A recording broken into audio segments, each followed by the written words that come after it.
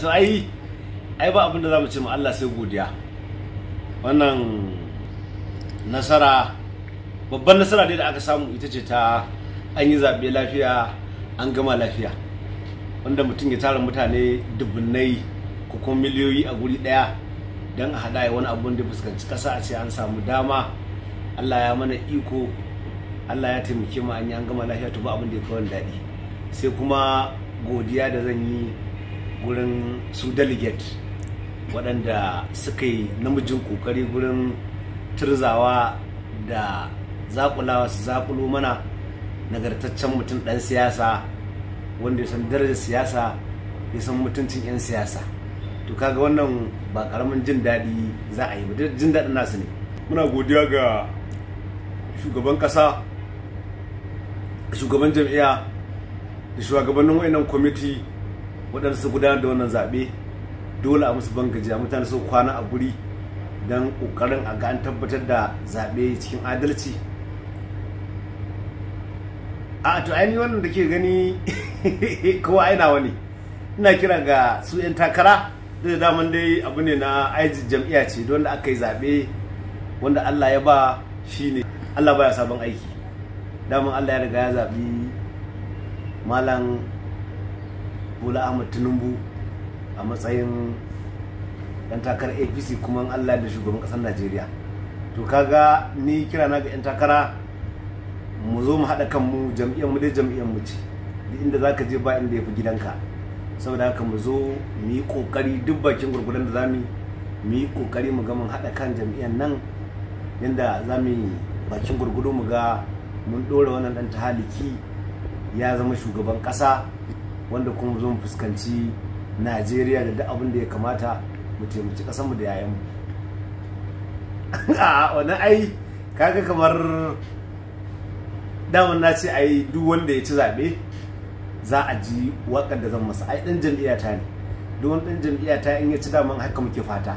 Mu abin da muka so da muka yi magana ai cewa muka yi ai dimokuraɗiyya. Dimokuraɗiyyar na ita ta kawo kowa. Saboda duk lokacin da aka ce za a yi za a ce ai wane yi ko ko wane yi za a ce an samu wani zai ce ai shi ba a kyauta masa ba inda an bari an yi zaɓe inda kaza to amma da yanzu zaɓen aka ce a yi. Saboda inda shugaban kasa ya burge ni da ya ce a'a ai gaba ɗaya kowa ma ya dawo a yi zaɓe. Da an ce an sasanta da an bama kudu sai aka ce a'a yanzu kowa ma yana dama ya shiga. To haka yanzu na an ba kowa firi wani ma yana cewa ai shi zai ci zaɓe shi zai kaza amma dai ya ana shiga zaɓen sai Allah ya nuna wanda Allah ya ba ya riga ya tsara zai zama. A insha Allah ai nan daga zuwa gobe za ka ji kuma abin da ni zan faɗa. Saboda haka a duk wata jam'iyya ayan take take wani dan rarage banta ko wani tashan wannan da ke ita ko kuma tashan kumfar kilin ko ta wani tashan kumfan kilin yanzu.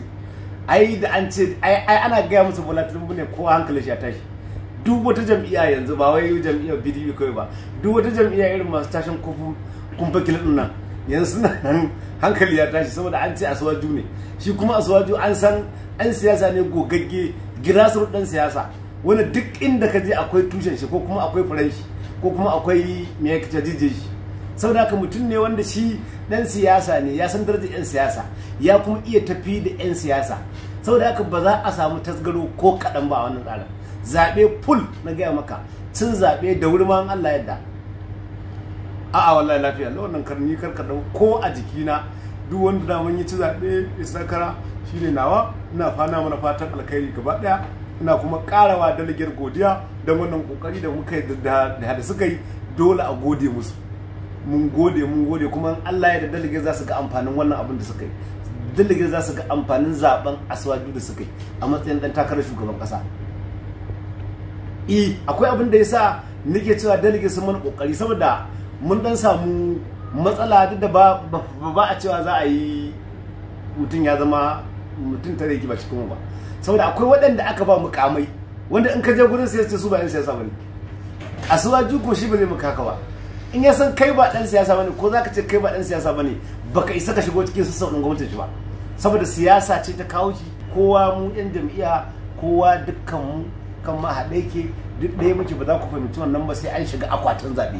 Nan za ku tabbatar da duk wani dan takara da yake wani dan rawar kafa to a lokacin zai gane da ruwa ake shayi. Na gode. A za ku ji waƙa waƙa ba ba ta tsaye ba. Inda kawai manyan gasi muna bula mu mu tsaya a nan. Na gode ni ma Allah saka da alkai